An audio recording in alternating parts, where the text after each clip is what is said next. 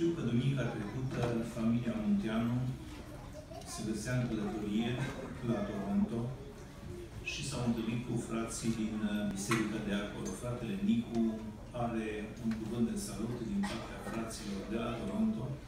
De aceea îi voi da loc să-l aduc. Frate Nicu, te ascultăm. Cuvântul de salut este din Coloseni 3, versetul 23 și 24. Orice faceți, să faceți din toată inima, ca pentru Domnul, nu ca pentru oameni. Ca unii care știți că veți primi de la Domnul răsplata moștenirii.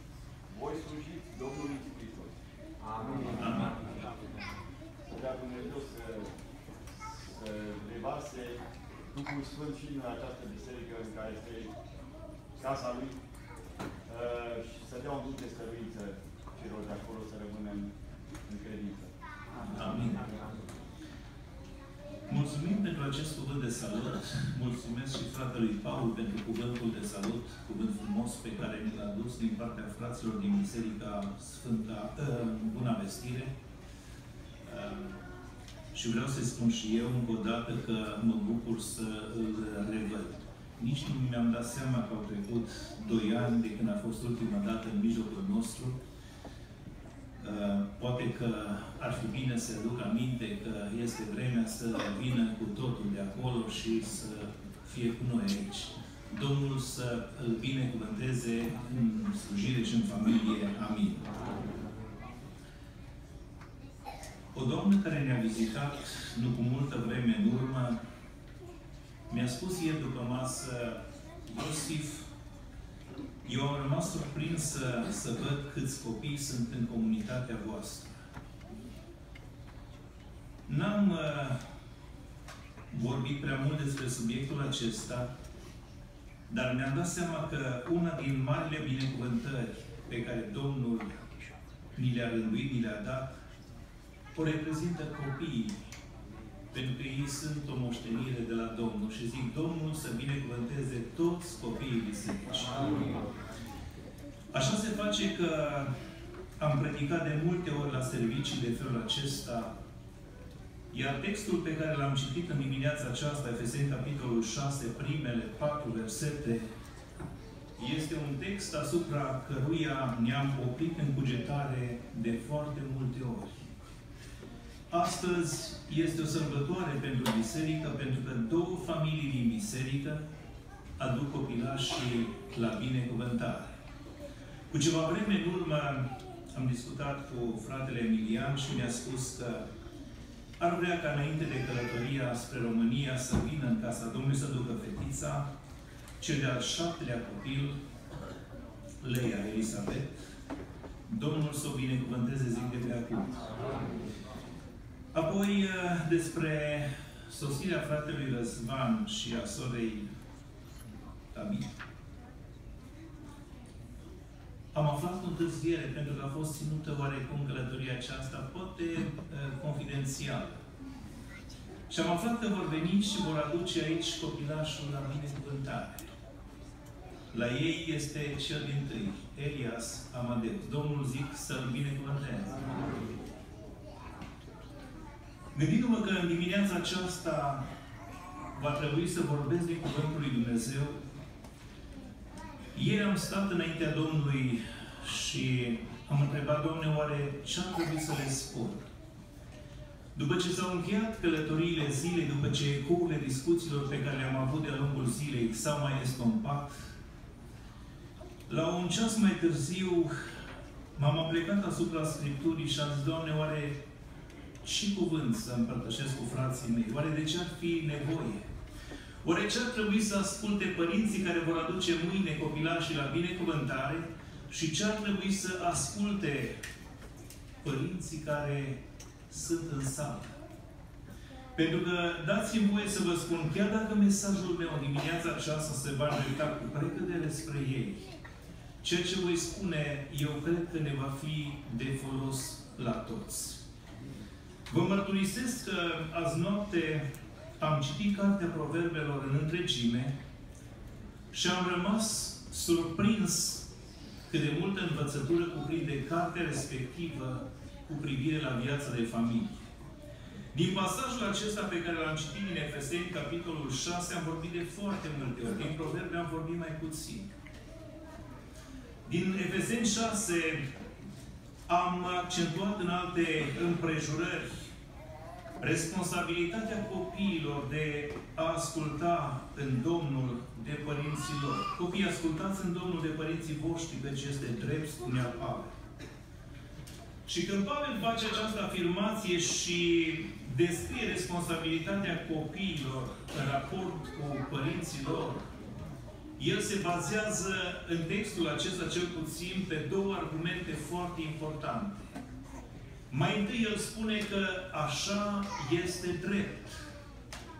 Există un anume principiu al dreptății sădit în ființa umană, în orice vreme și în orice cultură, oamenii au avut un anume sentiment al dreptății.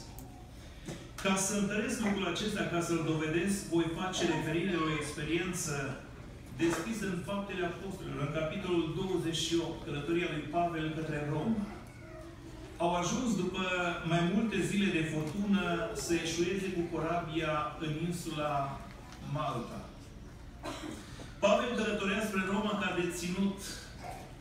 Uh, purta probabil lanțuri, dar când a fost vorba să scape prin not, probabil că i-au desfăcut lanțurile, să poată nota. Au ajuns în insula aceea și insula era locuită de barbari, de niște oameni care aveau foarte puține cunoștințe despre Dumnezeu, sau aproape deloc. De aceea Biblia numește barbari. Pentru că era un frig mare în vremea aceea, naufragiații au adunat lemne, au adunat uh, mărăcini să facă un foc mare, să încălzească.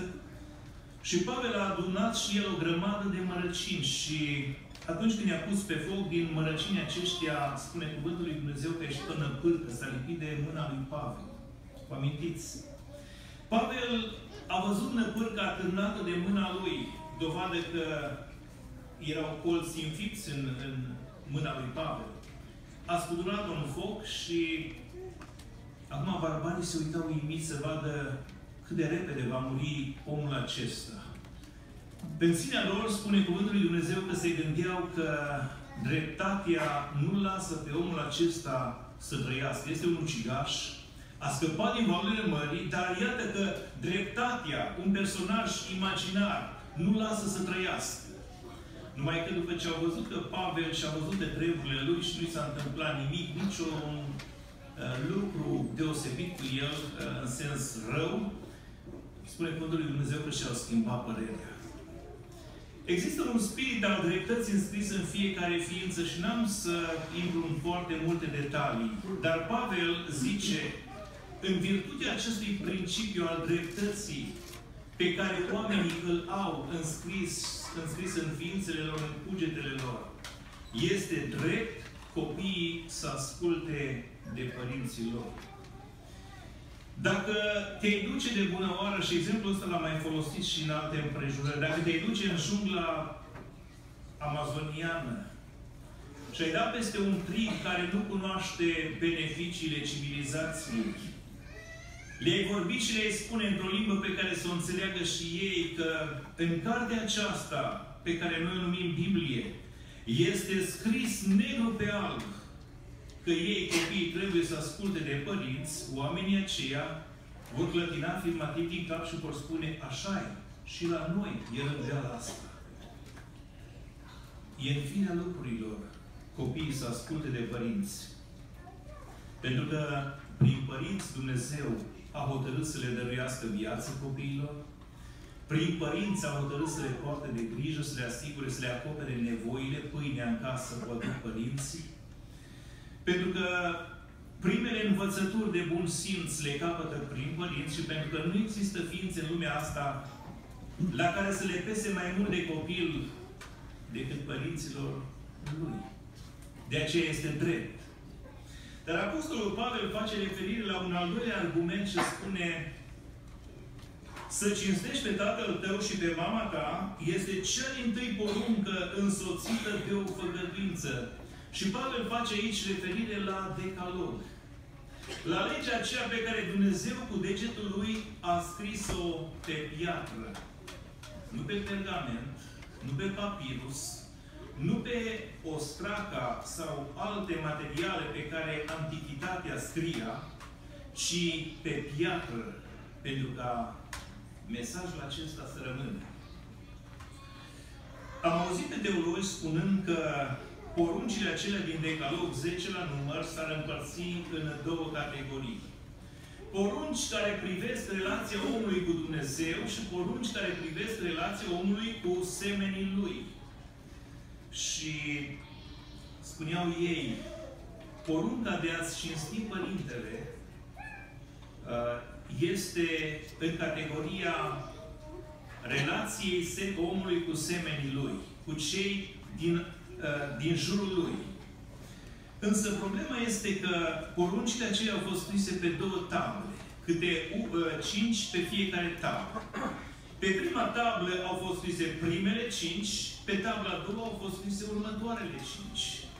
Porunca aceasta de a-ți cinsti părinții era scrisă, era a cincea și implicit era scrisă pe prima din cele două. Și poruncile de dinainte, primele patru, priveau relația omului cu Dumnezeu. Eu aș îndrăzni să cred că relația omului cu părinții lui, relația copilului, a tânărului cu părinții lui, are de a face cu închinarea lui înainte lui Dumnezeu. Am vorbit în alte împrejurări despre faptul că porunca aceasta este însoțită de o făgăduință ca să fii fericit și să trăiești multă vreme pe pământ.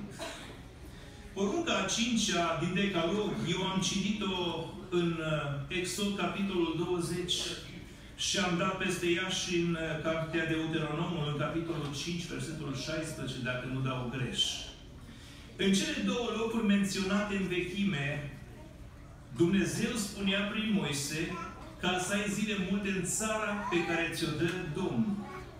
Acolo, cuvântul lui Dumnezeu se îndrepta către un popor care era într-o călătorie, în căutarea unei țări pământești, țara pe care le-a promis-o Dumnezeu. Uh, când uh, se dă prima dată legea în Exod, erau destul de departe de țara aceea. În Deuteronom erau aproape de ea, în câmpia Moabului. Țara era, poate, la limita privirilor lor. Puteau aproape să vadă dincolo de hotarul ei. Aici când Pavel face referire la această poruncă, el nu vine să spună țara aceea, ci zice să trăiești multă vreme pe pământ. El aduce o modificare fără să schimbe sensul fundamental al acestei observații. Pentru că pentru evreu făgăduința privia viața în țara aceea. Dar pasajul acesta din Efeseni nu se limita la evrei. El avea o aplicație mult mai largă, are o aplicație și pentru noi, pentru cei de astăzi. Pentru că noi trăim ca și copiii lui Dumnezeu răspândiți pe, țară, pe fața Pământului. Noi nu suntem în căutarea unei țări pământești, cum ar fi Canada, deși am făcut efortul să ajungem aici. Noi suntem în căutarea unei țări, una unei patrii cerești. Și trăim în așteptarea momentului când vom fi chemați, ne va aduna Domnul să mergem acasă. Câte vreme trăim aici, pe pământul acesta, noi putem experimenta fericirea și viața noastră poate să fie o viață frumoasă, lungă, dacă ascultăm de Dumnezeu și printre alte lucruri pe care El ni le cere, ni le, ni le cere și pe acesta, să cinstim pe tata și pe mama. La întâlnirile noastre de felul acesta, la sărbătorii de felul acesta, multe cântări vorbesc despre mamă, despre tată n-am prea auzit. Pe unii deranjează faptul acesta, pe mine nu mă deranjează. Dacă Dumnezeu a spus să ne cinstim părinții, una din forme este aceasta. Cea mai importantă este însă ascultarea. Că dacă nu-L asculți pe tata și pe mama și aș vrea să mă audă toți copiii și toți tinerii din biserică dimineața aceasta, dacă nu-L asculți pe tata și pe mama care sunt și ei copiii lui Dumnezeu, poți să cânți, poți să reciți, poți să fii chemat la programul tineretului să dai un îndemn, să vorbești din cuvânt, n-are valoare. Cel mai important mod de a-ți cinsti părinții este ascultarea și pe lângă acesta vin și celelalte, dar fără acesta celelalte nu au valoare. Și acum aș vrea să mă refer la responsabilitatea părinților, pentru că la binecuvântări, copiii care sunt aduși, de obicei sunt mici. Probabil că de auzit ei ne aud, că Dumnezeu le-a dat auz. Dar este îndoielnic dacă ne și înțeleg. De aceea, mesajele de obicei se îndreaptă către părinți. Părinților, Pavel le spune prin Duhul Sfânt, nu întărâtați la mânie pe copiii voștri, ci creșteți-i în mustrarea și învățătura Domnului. Nu voi vorbi în dimineața aceasta despre întărâtarea la mânie uh, a copiilor. În câte feluri părinții pot să întărâte, uh, am vorbit altă dată despre lucrurile acestea. Dacă aveți întrebări, nu puteți întreba pe parcurs. Aș vrea să vorbesc însă despre creșterea în mustrarea și învățătura Domnului. Tocmai de aceea azi noapte am citit Cartea Proverbele, pentru că am vrut să văd. Știți, când uh, citesc o carte, una din întrebările pe care mi le pun, îmi pun multe întrebări. Dar una dintre întrebările pe care mi le pun când citesc o carte este aceasta. În ce scop este scrisă cartea aceasta? Cu ce scop s-a așezat autorul ei la scris? Cartea Proverbele lui Solomon își definește scopul încă de la început. Ea este scrisă pentru căpătarea învățăturilor de bun simț, de dreptate, de judecată și de neîmpărtinire, ca să dea celor neîncercați agerime de minte, tânărului cunoștință și chipzuință. Însă, este adăugat aici să asculte chiar și înțeleptul care uh, are o anumită înzestrare în direcția aceasta. Pentru că dacă va asculta, își va mări știința și cel priceput va căpăta iscusință pentru prinderea înțelesului unei pilde, a unui cuvânt adânc, înțelesul cuvintelor înțelepților și al cuvintelor lor cu tâlc. Am citit cartea aceasta și am constatat că foarte multe din proverbele cuprinse în cele 31 de capitole privesc viața de familie. Sunt și proverbe aici care au altă aplicație, dar foarte multe privesc viața de familie.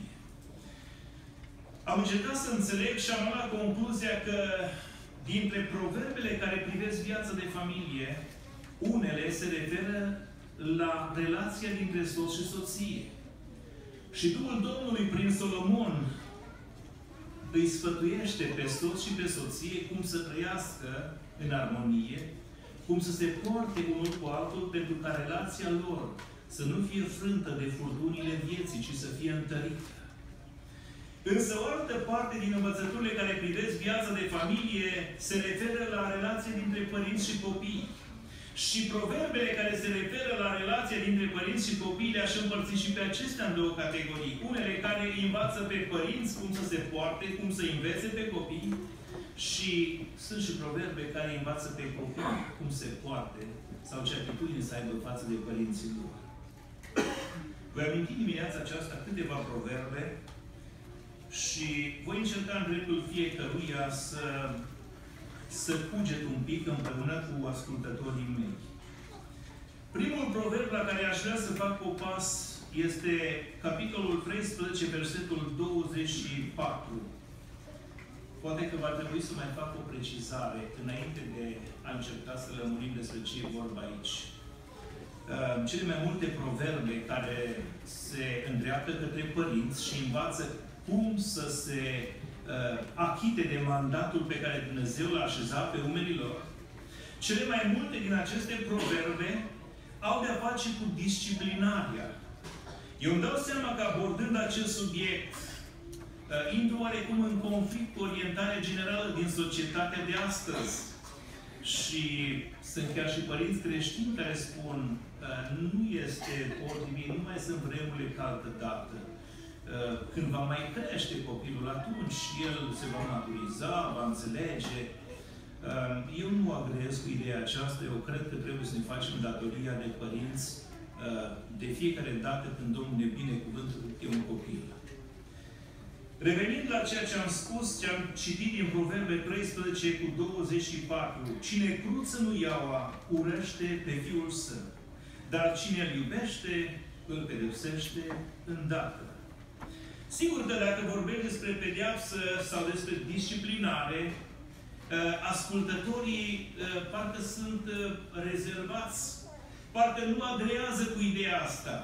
Pentru că te uiți la copilașul din coșuleț, părinții l-au îmbrăcat foarte frumos. Ca un îngeraș acolo. Când îți și zâmbește, dintr-un motiv pe care numai el îl știe, te-a cucerit. Cum să pedepsești, cum să disciplinezi un copilaș de felul ăsta? Ar putea să pară sfatul ăsta al Bibliei nepotrivit.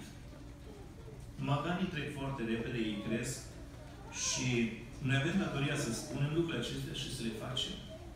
Pentru că vrem să creștem copii înțelepți, de care să ne bucurăm. Ca o concluzie, Solomon spusese în Proverbe 10, cu versetul 1, un fiu înțelept este bucuria tatălui său, negreșit și a mamei sale, adaug eu. Dar un fiu nebun este mâhnirea mamei sale și adaug din nou, probabil că și a tatălui său. Vrem să creștem copii înțelepți, vrem să ne bucurăm de ei. Vrem să fie oameni de nădejde de care Dumnezeu însuși să se bucure și să-i binecuvânteze. Ce spune Solomon aici este următorul lucru. Atunci când uh, situația o cere, lasă-l pe copilul tău să-ți știe atitudinea față de fapta lui nepotrivită. De aceea zice el, cine cruță nu ia urăște pe fiul său, dar cine îl iubește, îl pedepsește și adaugă el îndată. Am citit câteva cărți scrise de consilieri creștini, uh, cei mai mulți dintre ei americani, și printre alte lucruri pe care le-am găsit acolo era și sfatul acesta. Dacă trebuie să-l disciplinezi pe copil, nu o fă îndată, imediat ce a făcut uh, pozna sau uh, fapta lui nepotrivită. Lasă să treacă un pic de timp, ca nu cumva pedeapsa administrată în momentul acela să fie considerată ca un fel de descărcare de mânie. Poate că mai supărat și pe alte lucruri, te desfaci pe momentul acela. Înțeleptul din vechime zice, fă îndată ce ai de făcut. Dacă lași pedeapsa pe a doua zi când ești calm sau... De fapt, calm ar trebui să fim, calm ar trebui să fim tot timpul. L-am ca exemplu pe fratele Jimmy. Frate Jimmy, să știi că un exemplu, ești un exemplu pentru mine. Domnul să te binecuvânteze. Um, înțeleptul zice, ce ai de făcut, fă îndată.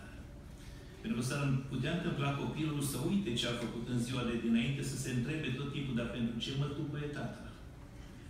Uh, sau pentru ce mă pedepsește, pentru ce mă disciplinează. El trebuie să vadă legătura între fapta nepotrivită și uh, măsura uh, care corespunde faptei respective. Există părinți care nu fac lucrul acesta. Și cred că în felul acesta, ocolind să disciplineze copilașul, în felul acesta ei își arată dragostea față de el. Biblia spune, dacă îl iubești, vei interveni atunci când el face un lucru nepotrivit. Iar dacă nu intervii, tu nu-l iubești cu adevărat. Un al doilea verset la care aș vrea să mă opresc în dimineața aceasta, foarte pe scurt, Proverbe 17 cu versetul al 6 Aici stă scris, copiii copiilor sunt cununa bătrânilor și părinții sunt slava copiilor. Una dintre cele mai mari binecuvântări pe care un copil ar putea să le aibă de-a lungul vieții este să aibă niște părinți cu care să se mândrească, în sensul bun al cuvântului. Până când copilul va ajunge să fie cunoscut în, în comunitate sub numele lui, cei din comunitate, frații, surorile, îl vor cunoaște drept fiul lui Cutare sau fica lui Cutare. Și cam toate lucrurile bune sau rele pe care comunitatea le știe despre părintele lui, despre tatălui sau despre mama lui, se vor răsfrânge vrând nevrând asupra copilului. Și când va spune, uh, mai știu cineva din biserică, ăsta e băiatul lui Cutare, De cele mai multe ori, uh, expresia aceasta nu are de a face cu identificarea lui, cât mai ales cu justificarea unor lucruri pe care copilul le face. Și oamenii zic, e lui cu tare, e fata lui cu tare. În România aveam o vorbă care spunea, aștia nu sare departe de trunchi. Cu alte cuvinte, există o anumită legătură între felul de a fi al părintelui și felul de a fi al copilului. Mai aveam și alte expresii de felul acesta în popor în România, dar nu le voi spune în dimineața aceasta. Ceea ce vreau să spun este că uh, părinții sunt chemați și trebuie să fie slava copiilor lor. În ce fel? Întâi de toate, având un nume bun, trăind o viață curată și frumoasă, fiind ei înșiși o binecuvântare pentru copii. Am observat că vocabularul unui copil se îmbogățește de la zi la zi. Bazele vocabularului copilului se pun în familie. Primele cuvinte pe care copilul le învață, le învață de la părinții lui. Afară de faptul că lasă părinții poate la creșă, la, la garderie de când are șase luni și aude pe acolo alte lucruri. Eu mă refer la situația normală din familie. Vocabularul copilului se formează după vocabularul părinților și aș vrea să fiți cu foarte mare băgare de seamă la capitolul acesta. Primele cuvinte pe care le învață să fie cuvinte frumoase. Că mai târziu va ieși la școală și în societate și va auzi și altele, dar bazele se pun în familie.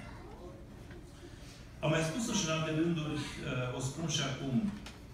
Când am participat la o conferință, la o convenție în Statele Unite în 2014 în Portland, am rămas foarte impresionat, neplăcut, să aud un tânăr care a fost uh, chemat la microfonul convenției și, deși în sală erau câteva mii de oameni, probabil vreo șase mii de oameni, și foarte puțini erau de vârsta lui, cei mai mulți erau de, mai maturi decât el, cu mare seninătate i-a salutat cu Hey guys! Eu am rămas perplex. Eu tot timpul am crezut că în sală sunt frați și surori. Uh, cineva mi-a spus că eu am pus întrebarea asta incomodă la niște frați pe acolo. Am zis, mă, dar cum e posibil să se vorbească așa la învonul, uh, la, la microfonul convenției? Și un frate mi-a spus, frate Iosif, da, ăsta e mersul vremurilor. În multe locuri, în bisericile române din America, se folosește cuvântul acesta. Am spus, îmi pare rău, cuvântul ăsta nu are ce căuta la învon. Avem așa, așa frumoasă expresie, frați și surori. De ce să folosim guys? Uh, zice, păi ăsta e mai familiar. Frate, ăsta e un cuvânt foarte periculos. Pentru că tu când spui frați și surori, tu implicit declari faptul că aveți toți pe Dumnezeu ca Tată. Îl implici pe Dumnezeu o relație dintre tine ca vorbitor și ascultătorii tăi care sunt în sală. Dar dacă spui guys, e ca și când ar fi o adunătură pe care i-a adunat de pe stradă la o miuță de fotbal sau mai știu la ce. De asta să aveți grijă cu expresiile. Uh, și fratelui Paul aș fi vrut să-i spun ceva, drag nădejde, că nu mi-o ia nume de rău și nu se supără pe mine. Frate Paul aș fi preferat să folosești cuvântul familia, Timoce. Uh, termenul pe care l-ai folosit e fain în felul lui. Dar, uh, mă rog, scuza ta este că n-ai fost la microfonul de la Învon. Sper să nu te super pe mine, oricum șanse mici să ajung pe la Biserica uh, Sfânta Vestire să îmi pui Bună vestire! Mulțumesc! Trebuie să avem grijă cu cuvintele pe care noi le folosim pentru că ei, copiii noștri, le preiau din mers de la noi. Și aș mai spune încă un lucru aici vis-a-vis de uh, vocabularul ăsta pe care îl folosim. Frate Emilian, știu că nu folosești expresia asta. Frate Răzvan, cred că nici tu.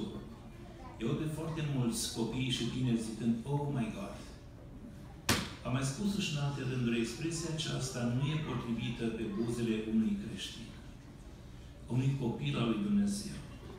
Ea nici măcar nu dovedește faptul că ați știe engleză. Engleza trebuie dovedită altfel. Nici nu e uh, o expresie culturală, nici niciun fel. Numai că folosind-o în toate împrejurările vieții, așa, numele Lui Dumnezeu este folosit și în locuri și în situații nepotrivite. De aceea să aveți grijă. Copiii învață limbajul vostru. Un alt verset din Proverbe la care aș vrea să mă refer foarte pe scurt, uh, bine o să sar peste câteva, pentru că am avut în vedere mai multe. Proverbe 22 cu 6 învață pe copil calea pe care trebuie să o urmeze și când va îmbătrâni, nu se va abate de la ea. Probabil că dintre toate proverbele care au de-a face cu educația copilului, ăsta este cel mai bine cunoscut. Și dacă ar fi trebuit să aleg în dimineața aceasta doar unul singur, probabil că pe ăsta l-aș fi ales. Pentru că proverbul acesta întâi arată cine trebuie să-l învețe pe copil. Va spune ceva, frate, dar nu se vorbește aici nici de tata și nici de mama. Nu, e adevărat. Numai că termenul ebraic care a fost redat prin cuvântul copil este un termen ebraic care definește un copil la o vârstă la care el în Israel primea educație de la tata și de la mama. În vremea în care Solomon scrie aceste cuvinte, în Israel nu erau instituții sociale numite școli sau academii. Educația de obicei se făcea în familie. Iar dacă era vorba despre un copil mai mic, copil definit prin această expresie de aici, el era sub educația părinților lui. Voi trebuie să faceți educație copiilor voștri înainte de a lăsa pe alții să se ocupe de educația copiilor. Cel mai frumos exemplu pe care îl cunosc din Biblie este exemplul mamei lui Moise. O femeie extraordinară care a avut la îndemână un timp foarte scurt în care să se ocupe de copilul ei. Perioada aceea în care el era alăptat. Vă imaginați ce perioadă fragedă era. Dar a fost perioada în care mama lui Moise a sădit în inima lui Moise, în conștiința lui, niște învățături care i-au marcat toată viața în continuare și au făcut posibil ca el să devină o unealtă în mâna lui Dumnezeu preamărit să fie Domnul. În al doilea rând, tot de aici, ce să-l înveți pe copil? Calea pe care trebuie să o urmeze. Vedeți, în Israel, părinții își învățau copiii și câte o meserie. Dacă de bună oară părintele era agricultor, meseria pe care o deprindea copilul lui era agricultura, cultivarea pământului. Dacă părintele era un olar, un om care fabrica din lut vase, meseria pe care o învăța copilul lui era meseria aceasta. Dacă părintele era un făcător de corturi, cum a fost tatălui Pavel, Uh, copilul, adică Pavel, Saul pe vremea aceea, a învățat meseria aceasta. Dacă părintele era pescar, primul lucru pe care îl învăța părintele lui era să noate. Pentru că după ce îl înveți să noate, după aia îl înveți și pescuitul. Nu îl înveți invers. Îl înveți să plutească. Dar vreau să vă spun că era ceva ce trebuia fiecare părinte să-și învețe pe copilul lui, indiferent de meseria lui sau de domeniul lui sau de nivelul lui social. Și acel ceva era calea pe care trebuie să urmeze. Solomon a observat, uitându-se în jurul lui, că în lume multe căi pot să pară bune, dar la urmă se vede că duc la moarte cele mai multe dintre ele. Pentru noi creștinii este simplu. Noi putem spune copiilor noștri, Iisus Hristos este calea, adevărul și viața. Binecuvântat să fie El. El, umblând în lumea noastră timp de 33 de ani și jumătate, cât se presupune că a trăit în trup, El a trasat din viața Lui o cale. Pavel a spus, călcați pe urmele mele, întrucât eu cal pe urmele lui Hristos, adică pe care pe care merge El, pe care a mers El. Și noi, părinții creștini, ar trebui să putem spune copiilor noștri, călcați pe urmele mele, pentru că eu cal, sau noi, eu, tatăl și ea, mama voastră, călcăm pe urmele Domnului Isus Hristos. Învățați-i calea pe care trebuie să urmeze. Unii părinți își imaginează că este responsabilitatea pastorului, a predicatorului din biserică, a comitetului să învețe pe copii calea, a învățătorilor de la școala duminicală. Fac și aceștia tot ce pot. Dar în primul rând este datoria voastră. Este datoria voastră să învățați pe copil calea pe care trebuie să urmeze. încă un lucru vă mai adăuga aici și apoi mă voi apropia de încheiere. El zice, Solomon, și când va îmbătrâni, nu se va abate de la el. S-ar putea întâmpla să așteptăm rezultate imediat. Și rezultatele acelea să întârzie. Dar ceea ce spune Solomon aici, chiar dacă întârzie, va veni o vreme când copilul va reveni, adultul de pe acum, va reveni la calea eh, pe care a fost învățat să meargă pe când era copil. Procesul ăsta al îmbătrânirii e un proces nedorit de noi. N-am vrea să ni se spună că am îmbătrânit. nu așa? Când ne întâlnim cu un prieten pe care nu l-am mai văzut de multă vreme, nu ne face plăcere deosebită să spună, vai cât ai îmbătrânit, dar ce cu tine? Uh, din potrivă, ne bucură dacă ne fac un compliment. Numai că îmbătrânirea aduce cu ea o binecuvântare, o anumită maturizare, o anumită coace.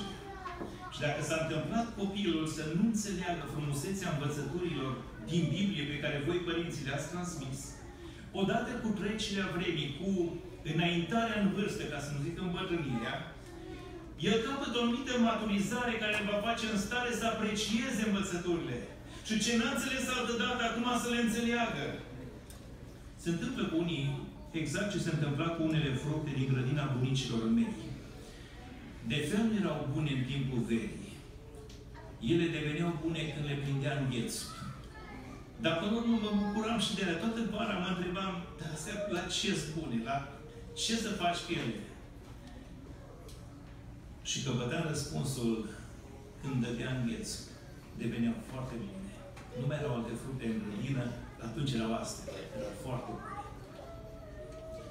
Unii prind, unii se maturizează mai greu. Alții prind repede. Unii înțeleg repede, alții înțeleg mai târziu. Câteodată pe unii Dumnezeu trebuie să-i treacă prin anumite experiențe ale vieții ca să-i ajute să capete această capacitate de a înțelege adevărul și frumusețile învățăturilor lui Dumnezeu. Voi faceți-vă datoria. Atunci când trebuiește îndreptat ceva, îndreptați pe moment.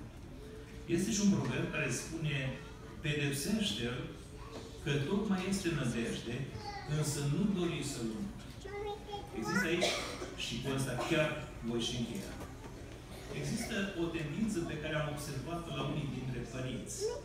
Ar vrea copiii lor să fie mai convinți decât au fost ei. Vrând să rezolve odată și pentru totdeauna cu mica aceea neascultare, o pedepseze de 10 ori mai tare decât poate că ar fi cazul, ca să spună acum și pentru totdeauna. Fiți cumpătați și în privința aceasta cu măsură, în toate lucrurile. Cumpătarea este regula de aur a vieții de credință și astfel aplică și aici. Învățați pe copii rugăciunea, învățați cântarea de laudă, învățați să prețuiască adunarea. Nu le spuneți că în alte părți, în alte biserici, programul e mai interesant. Că va veni o vreme când uh, ați vrea să aduceți la rugăciune, în biserica în care se practică rugăciunea și nu veți mai putea. Aveți liniște. Eu sunt încredințat că Dumnezeu vă va ajuta să creșteți copilașii voștri în frică și temere de El. Și ce doresc pentru copiii mei, aceea doresc pentru toți copiii fraților. Să trăiască toată viața lor sub binecuvântarea lui Dumnezeu. Amin. Amin. Ne apropiem așadar de actul propriu-zis al chemării numelui lui Dumnezeu peste cei doi copilași dar de fiecare dată, pentru că este un moment ceremonial, ceremonios, vă invit pe toți cei prezenți să vă ridicați împreună cu mine în picioare. Invit cele două familii să vină în față.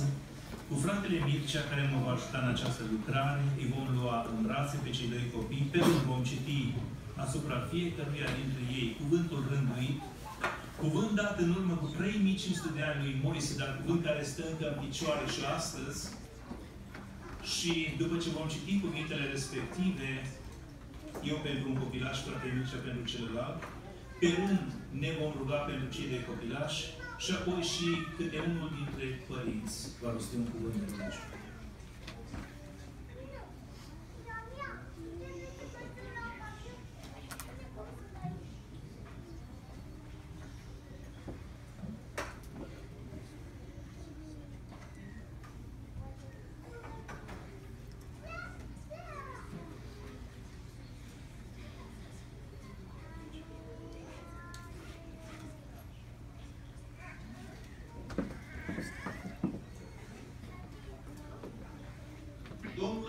Moise și a zis, vorbește lui Aron și fiilor lui și spune-le, așa să binecuvântați pe copiii lui Israel și să le ziceți, Domnul să te binecuvânteze și să te păzească, Elias Amedeus. Amin. Amin. Domnul să facă să lumineze fața lui peste tine și să se îndure de tine, Elias Amedeus. Amin. Amin. Domnul să-și înalțe fața peste tine și să dea pacea, Elias Amedeus. Amin. Amin. Astfel să pună numele meu peste copiii lui Israel și eu îi voi binecuvânta, zice Domnul. Amin. Amin. Domnul a vorbit lui Moise și a zis, Vorbește lui Aron și fiilor lui și spune-le, Așa să binecuvântați pe copiii lui Israel și să le ziceți, Domnul să te binecuvinteze și să te păzească Lea Elizabeth. Amin. Amin. Domnul să facă să lumineze fața lui peste tine și să se îndure de tine Lea Elizabeth. Amin. Amin. Domnul să-și înalțe fața peste tine și să-ți dea pacea, Lea Elizabeth. Amin. Amin. Astfel să pună numele meu peste copiii lui Israel și eu, zice Domnul, îi voi bine, voi binecuvânta. Amin. Amin.